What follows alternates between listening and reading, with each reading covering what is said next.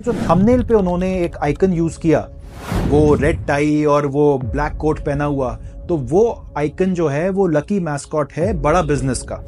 तो उन्होंने बिल्कुल क्लियर कर दिया, दिखा दिया कि भाई ये मैं आपके बारे में बात कर रहा हूँ। अगर आपके घर में ट्रेस पास करके कुछ लोग आ गए तो आपको पुलिस को बुलाना चाहिए था अथॉरिटीज को इन्फॉर्म करना चाहिए था, ना कि यू नो सोशल मीडिया पर जाके और आपने सारा कुछ साफ़ साफ़ वहाँ पर लिख दिया। इनफैक्ट उसको प्रोपोगेट करते हुए आपने लिखा now this is public versus Vivek Bindra इतने टॉल क्लेम्स करने से पहले कि ये स्कैम है या ये धोखा है या ये क्राइम है आपको ये समझना चाहिए कि आप कोर्ट नहीं है आप जज नहीं है। कि जब कैरी मिनाटी ने ऐसा वीडियो बनाया तो संदीप माहेश्वरी ने तो डायरेक्टली सोशल मीडिया पे लिख दिया था। वो मैटर बिल्कुल वहीं के वहीं सॉल्व हो गया क्योंकि दोनों ने ऑफलाइन बात की और उसको सॉल्व कर लिया।